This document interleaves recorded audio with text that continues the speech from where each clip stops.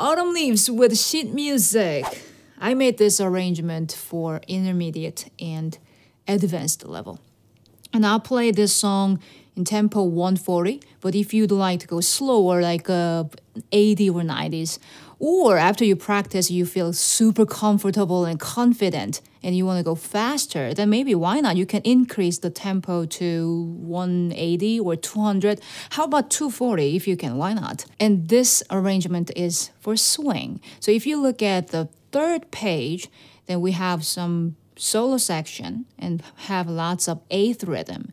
And we're not gonna play the rhythm da da da da da da da da. No, we're not gonna do that because it's a swing more. It's not easy to explain verbally, but just you gotta feel it. So don't forget that this is swing.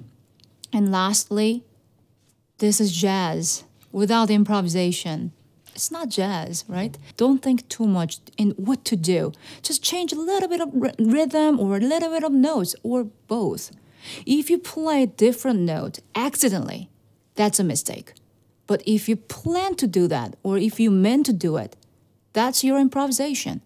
So just try little changes in this music if you'd like to. So we can step forward even just a little bit to have some freedom in music so we can have fun. Why not? Let's begin the music. Oh, by the way, I'm Sangah Noona.